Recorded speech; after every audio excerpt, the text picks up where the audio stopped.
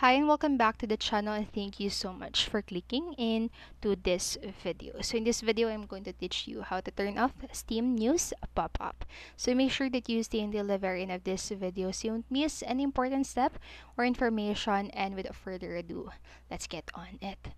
So when you launch Steam, it normally shows a pop-up window with advertisements for updates to games you own and new games. So here's how to turn those pop-up ads off. So this feature is located on the Steam settings menu, which you can access by clicking the Steam and on the top left corner and select these settings. So if you're on a Mac, you can you also use a hotkey to open up the Steam preferences menu. Just press the command key to launch it and once you're in the settings or preferences window click the interface tab at the left side of the window. So it is this part right here and uncheck the or once you are or after that after clicking into the interface, just uncheck the notify me about additions or changes to my games, the releases and upcoming releases box to disable the ads.